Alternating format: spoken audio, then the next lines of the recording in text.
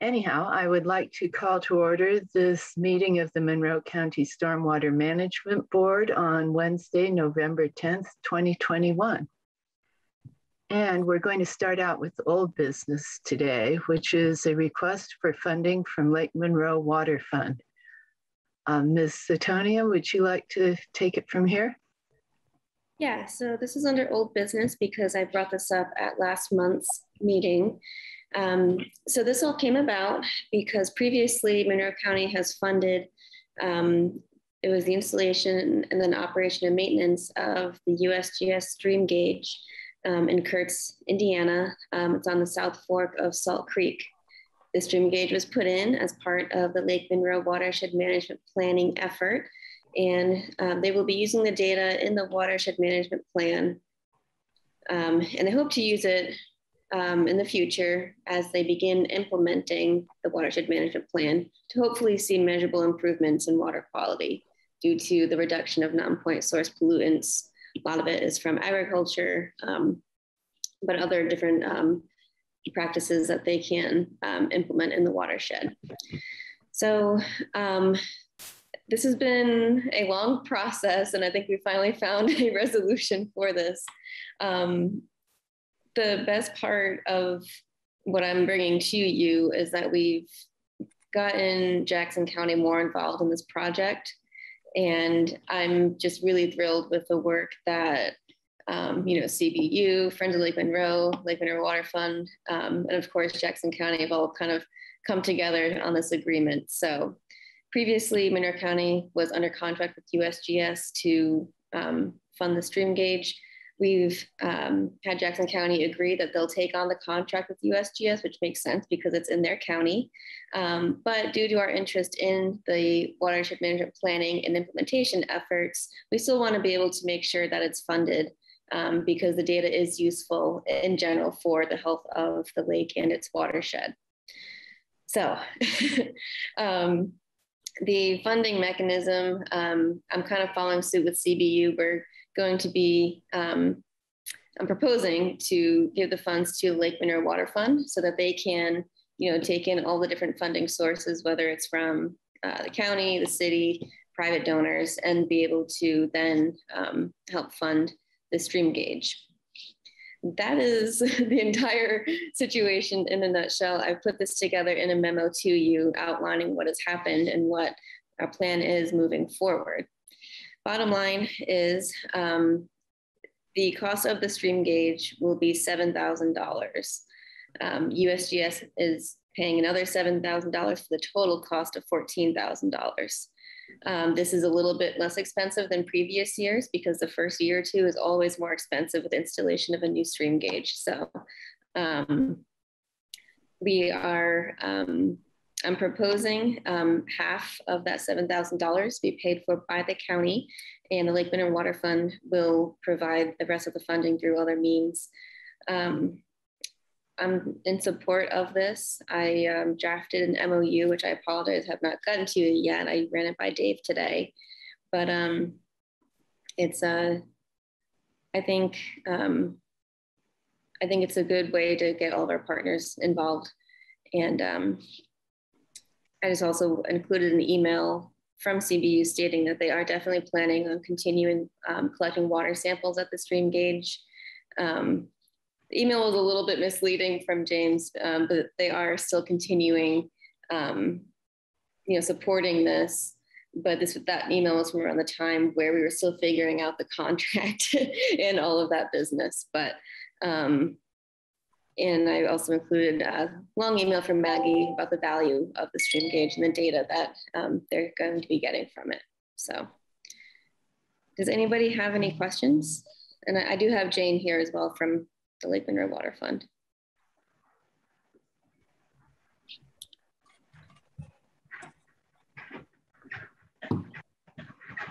At this point, you just need a motion? Yes. I move that the um, Monroe County Stormwater Management Board uh, make $3,500 available to help with the stream gauge. Second. Thank you. Thank you. Um, are there any comments or questions from anyone? Just, I think this is fantastic, um, the way it came back. And uh, yeah, I, I agree that this could really help uh, with some collaboration. Um, so great, great work. It's just so easy to say yes on this one. I think we should just acknowledge how great that was. And I know everyone does. So. Anything from anyone else? Well, I'm. May I just say thank you to everyone. I hope uh, to have our fundraising in high gear uh, it during 2022 so that um, we will find other sources of funding and we don't have to come back to you. This sort of came up very quickly a couple weeks ago, and so we've been scrambling to um, put the funding together, and uh, we have an ask out to Duke. All of these amounts are significantly less than the original 48,000 when we had to buy the gauge, install it, and um, and then pay for two years of uh, ops and maintenance by USGS. So um, this is more manageable, but it came up fast. And we uh, at the Lake Monroe Water Fund are trying to build a coalition of the counties, particularly the upstream counties that have a big effect on our water quality. And so engaging um, Jackson County Soil and Water District is a, a big win for the coalition. Anyway, thank you for consideration and, and uh, what looks like approval. Thank you. Yes, I, I also am very excited to hear that Jackson County is going to be cooperating with this and hopefully that may lead to a lot more future cooperation with them, um, which would be good for all of us.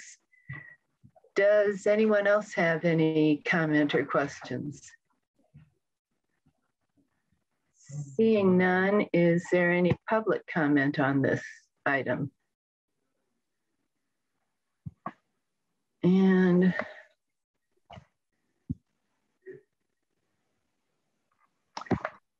I do not see any. We have a motion and a second.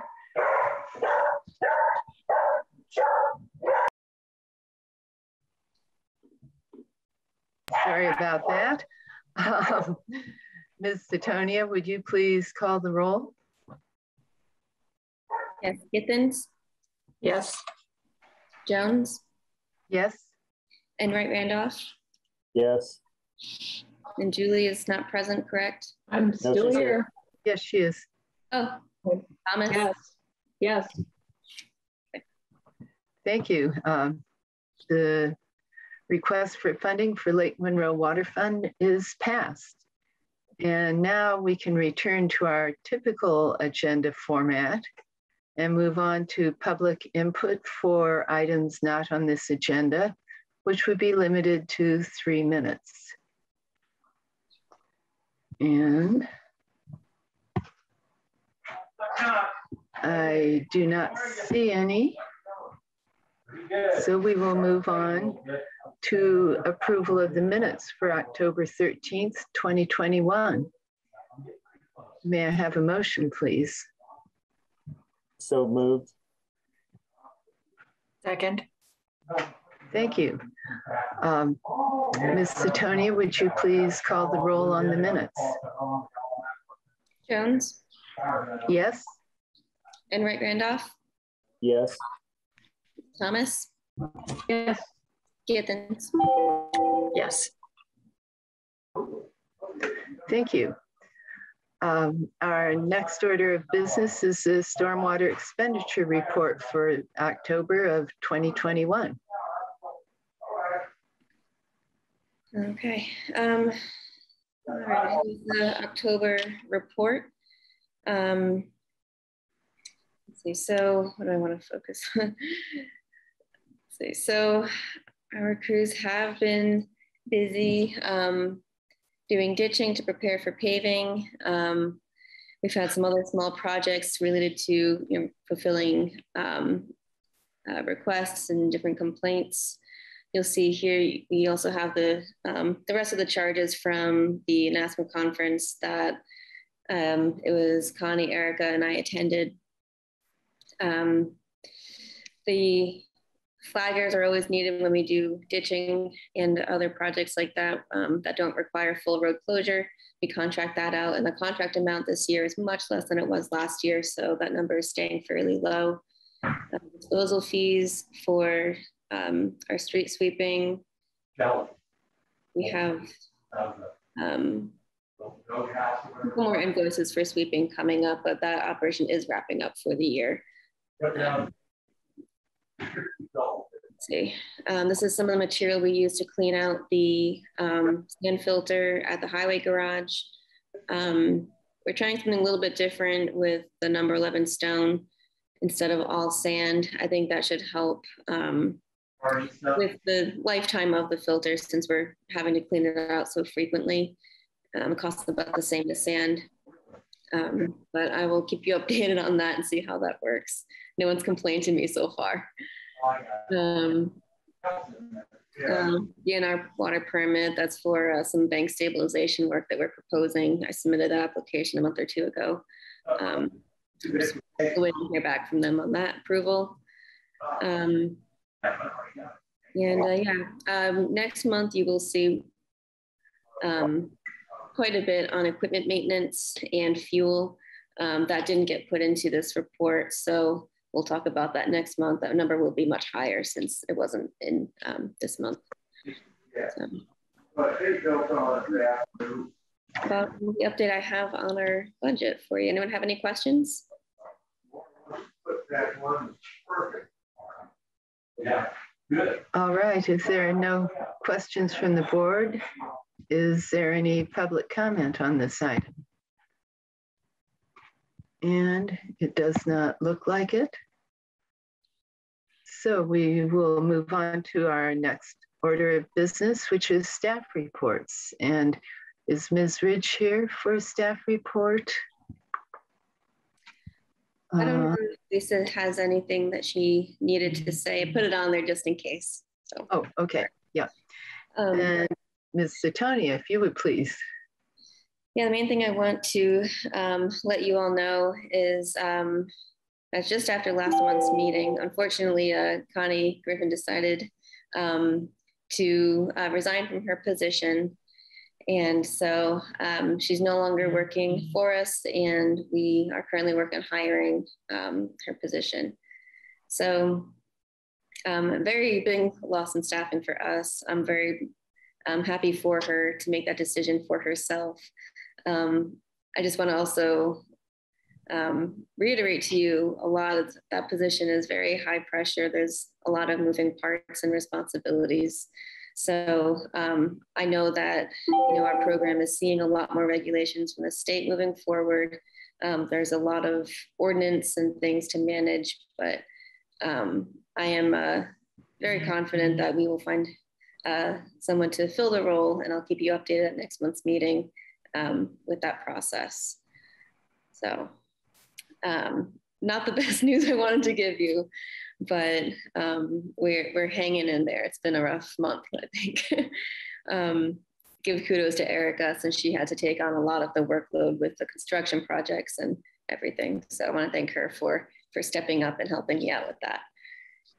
Um, Okay. Um, the other important item is the, um, the state general permits for construction, stormwater, and MS4. Um, thank you, Trohn, for attending the MS4 annual meeting. I hope you got some good information on the new permit information, but um, the state received both permits back from the EPA with no objection. So they are in their final state. And so they will be released very, very soon. Um, IDEM is holding two public information sessions on them that Erica and I are going to attend. Any comments they receive from those meetings will go into the next permit cycle in five years. So the permits are currently um, in their final form. Um, next week, we have our contractors meeting that we're putting on. We have a wait list. We had to cap the number due to um, the room capacity at Ivy Tech, but Um, we do have um, consultant coming in to discuss the new permits, what it's going to look like for contractors in our county. And we have two IDEM staff who will be present to um, answer questions that either our staff or um, attendees at that meeting will have on it. So we're going to get the information out to our local uh, engineers contractors as best as we can. So, okay. That's all I have. Any anything else that comes up, I can um, communicate at the next meeting for you. But you don't have any questions? No questions. Just want to put on your radar if you haven't gotten to it. Uh, INASM sent out uh, the stormwater general permits email. Um, has a lot of detail. I'm sure you already know it, but uh, if you haven't looked at it, it's worth a read. Mm -hmm. Yeah. Are there any other questions, comments? Uh, what is the date of the and time of the contractors meeting? Yeah, it's um, Wednesday, the 17th next week. Um, starts registration 8.30 to 9 a.m. Um, we will be providing lunch and I'm anticipating the presentations will end around 2.30 p.m. All right, it, um, will there, will it be recorded? Will it be?